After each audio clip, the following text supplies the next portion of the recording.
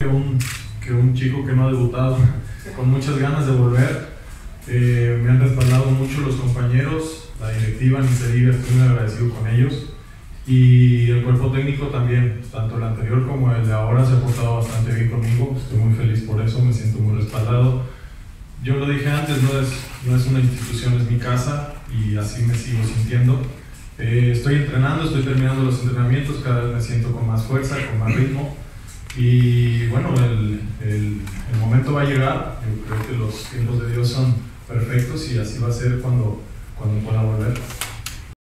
Como dice Chaco, la verdad que es un jugador de muchísima calidad, que obviamente en cualquier equipo se extrañaría.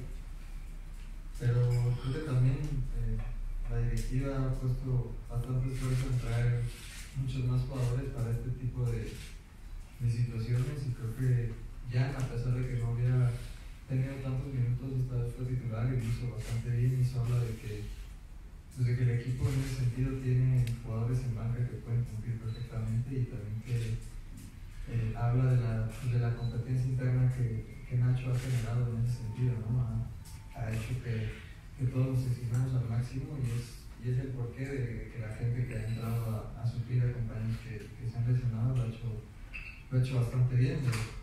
Pero, sin duda va, va, a hacer falta Rubens, pero estamos tranquilos de que el que juegue ahí lo hacer, lo hacer bien y está preparado para, para ser titular también. Resultados, que por ahí este, estás con el entrenador y te lo cambian, entonces lo que te adapta a su idea y todo eso, vas empezando a, a, a entender cómo, cómo quiere que juegues y yo que sería también a, a, eso.